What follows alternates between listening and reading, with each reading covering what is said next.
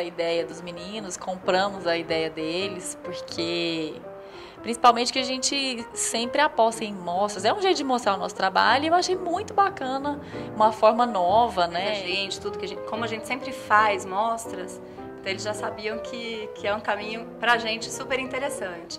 E essa, especialmente, para a gente foi, foi, tá sendo, né?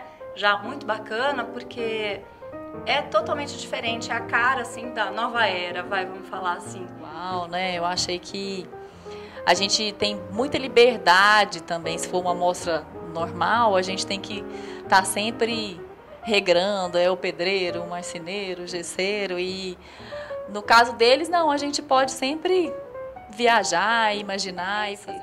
Esse confronto de realidade, a gente pode trabalhar o projeto, pode trabalhar todos os aspectos sem ter a, a montagem. Está sendo uma delícia, né? Poder criar à vontade. Um pouco desse um pinguinho dessa realidade, né? Que tem que ter os móveis reais e essa troca com as lojas. Eu achei muito bacana estamos apostando totalmente na ideia deles. Qualquer pessoa pode acessar, né? E não fica preso àquela data, não fica preso a aquele meizinho que vai sair a mostra. Não, vai estar sempre lá, vai estar sempre disponível. Então, Casa Pixel entre a casa é sua.